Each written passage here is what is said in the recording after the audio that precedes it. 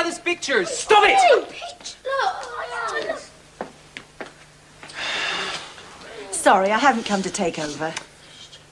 I say, what wonderful creations. Yes.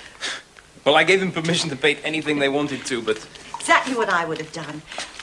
Would you excuse me? Could I have a moment with them? yeah, of course. Thanks.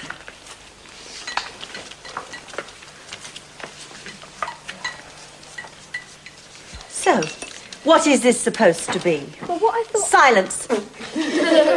You're speaking to a member of staff. Alice? Yeah.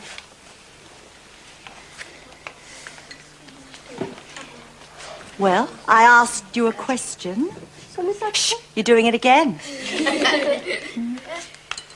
and how long do I have to sit here? Miss, I told you. Who I- asked you? I'm still waiting. It's not fair. When I want your opinion, I'll ask for it. I'm enjoying this, aren't you? Yes. Tell you something, though. I bet Alice isn't. Are you, Alice?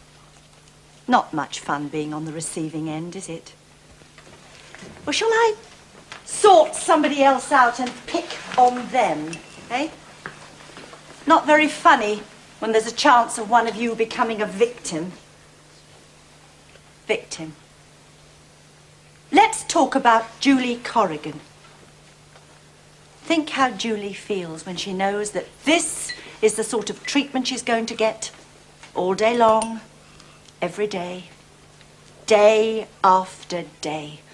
No wonder she's physically sick at the thought of having to come into school and face it. Alice, Becky, Robyn, Mrs. McCluskey's room now. Bye. Bye. See you later. Bye bye. Silence. I'll see the rest of you later.